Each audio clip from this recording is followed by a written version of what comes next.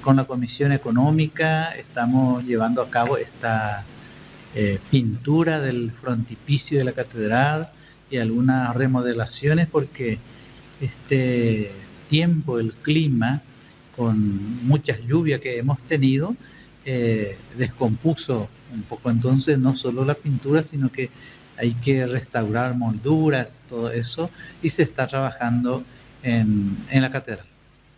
Bueno, entonces justamente, para, ¿durante cuánto tiempo duraría estas obras, padre? Bueno, esta obra depende mucho del clima, ahora que ya escampa y sale el sol, creo que le dará oportunidad de seguir y eh, vamos a suponer dos meses, dos meses para el frontipicio que puedan eh, repintar. Bueno, entonces con este, esta la, la, finalidad también brindar mejor imagen, las feligresías, se espera que más feligreses asistan ahora.